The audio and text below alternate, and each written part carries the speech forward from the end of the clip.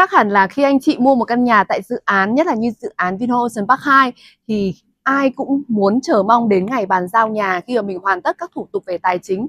Và hôm nay thì Thanh Thủy sẽ đi nhận bàn giao nhà một căn tại Cọ Xanh 18 mà Thanh Thủy vừa mới mua thời gian gần đây.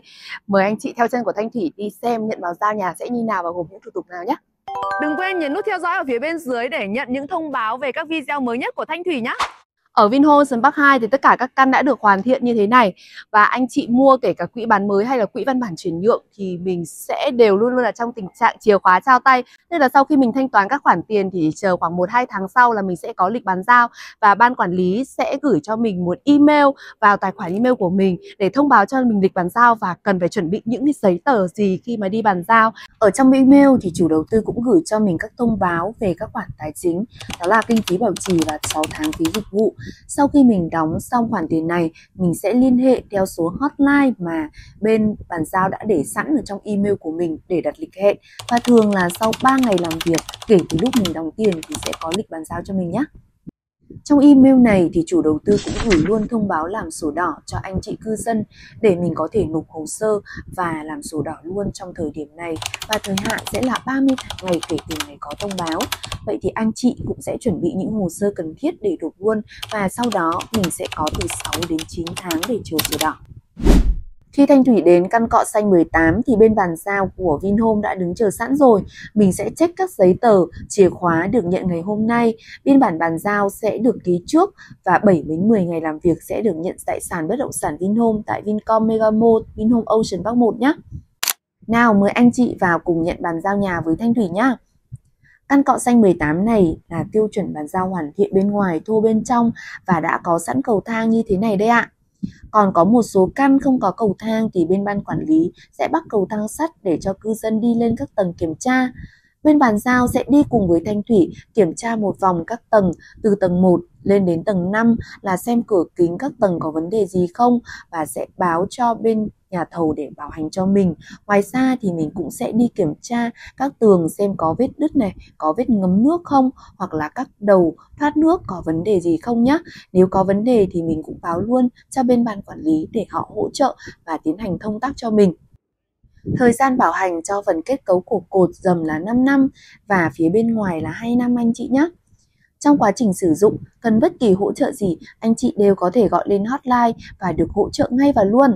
Đi một vòng kiểm tra thì không có vấn đề gì nên mình sẽ ký xác nhận và chính thức nhận bàn giao nhà thôi ạ. À. Nhận bàn giao xong thì bên ban quản lý sẽ bàn giao cho mình một danh mục các hạng mục sẽ bàn giao cho mình là những giấy tờ. Đầu tiên sẽ là một bộ chìa khóa, đây sẽ là chìa khóa cửa gỗ và một bộ các chìa khóa cửa phụ ở phía bên trong. Ngoài ra thì sẽ có một hồ sơ bản vẽ hoàn công. Trong hồ sơ bản vẽ hoàn công này thì có một hồ sơ thửa đất có đóng dấu đỏ rồi. Và một biên bản bàn giao thì hôm nay chủ nhà sẽ đến ký và chờ đóng dấu đỏ nhận lại tại phòng thủ tục từ 7 đến 10 ngày làm việc sau nhé. Thanh Thủy cũng đã mua rất nhiều căn tại Vinhomes Park 2 và căn cọ xanh 18 này. Thanh Thủy mới mua trong đợt mở bán gần đây của chủ đầu tư.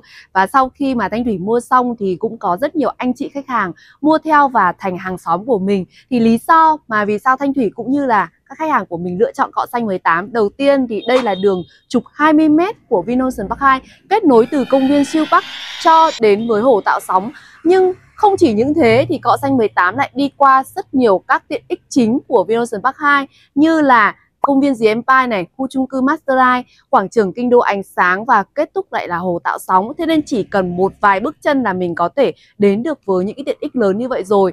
Ngoài ra thì cọ xanh lại là một phân khu mà tiếp cận với trường liên cấp Vinschool từ mẫu giáo cho đến cấp 3. Thế nếu mà ở cọ xanh, trong thời gian tới thì con cái của mình khi mà di chuyển đi học sẽ rất là thuận tiện, đúng không ạ? Đấy là lý do vì sao mà cọ xanh 18 Thanh Thủy đánh giá sẽ là một lựa chọn đầu tư có sức bật tăng giá nhanh trong tương lai so với các căn khác cùng loại hình. Các loại hình liền kề 80m như Thanh Thủy mua thì cũng đã hết tại cọ xanh 18 rồi. Thế nhưng mà vẫn còn những căn liền kề sẻ khe với diện tích là 112m và có ba mặt thoáng giống như là một căn song lập nhỏ vậy. Và giá hiện nay thanh toán hết chỉ khoảng tầm hơn 13 tỷ, tức là chia theo mét vuông chỉ khoảng hơn 110 triệu một mét thôi. Với giá này đang là giá đầu tư cực kỳ hợp lý với anh chị nào vừa muốn là có một không gian ở thoải mái, lại muốn có sân vườn để có thêm không gian sinh sống xanh cho gia đình của mình. À, mua bây giờ thì chắc chắn là chìa khóa giao tay chỉ khoảng 1 đến 2 tháng là anh chị có thể nhận bàn giao nhà và sắp xếp để chuẩn bị sửa sang và chuyển về ở rồi.